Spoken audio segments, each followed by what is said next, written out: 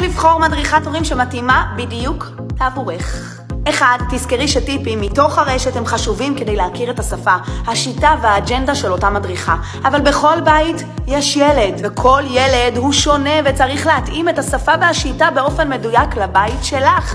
אז אל תסתפקי רק בטיפים על הדרך. שתיים, תכירי את המדריכה, תכירי חומרים שלה, תקראי פוסטים שלה, תכנים שלה, סרטונים, הצלחות, ותוודאי שאת מתחברת לשיטה ולאמירות שלה, שזה מה שנראה לך שיכול לעזור לבית שלך. שלוש, תפסיקי לקחת תהליכים של קופות חולים, ככה גם התוצאות שלך ייראו. וברור לי שעכשיו כל מטפלות קופות החולים למיניהם יצאו עליי בהודעות. בסדר. ארבע, לפני שאת סוגרת תהליך עם אותה מדריכה, תבקשי ממנה את תעודת ההכשרה שלה להדרכת הורים, ותזכרי שלא כל מטפלת רגשית היא גם מדריכת הורים. אני אומרת לך את זה כמטפלת רגשית, לא מלמדים בלימודים תהליכים אמיתיים וכלים פרקטיים להורים, לכן חשוב שתוודאי שאכן היא מוסמכת בהדרכת הורים ספציפית.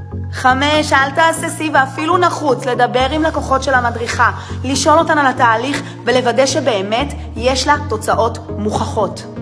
שש, תוודאי שיש התחלה, אמצע וסוף לתהליך שלכם, כדי שלא תתקעי או תתקעי את עצמך בהוצאה כלכלית אחת לשבוע ותגיעי למעל לעשרת אלפים שקלים בשנה. שבע, תוודאי שאת לא נפגשת איתה אחת לשבוע ומשם את לבד בדרך ובחיים. תזכרי שהכל נשמע טוב ויפה בחדר הטיפולים, אבל אז החיים עצמם קורים.